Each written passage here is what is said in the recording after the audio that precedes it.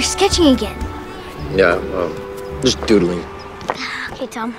We got 20 seconds. Talk to me. You okay? Me, yeah, I'm good. Great.